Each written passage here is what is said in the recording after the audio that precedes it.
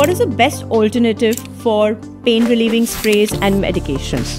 in our experience you know we have we have something called a cell repair therapy in our clinic so uh, how that works is that it basically delivers a very low dose current which is in sync with the natural current uh, in our body actually helps in reducing pain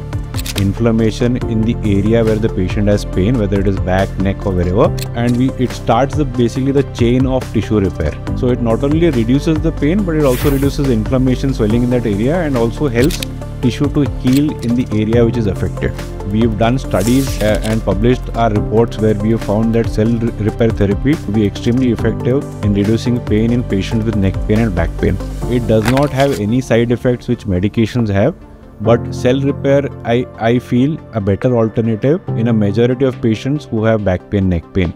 Call us at 080 352 16995 for first free consultation.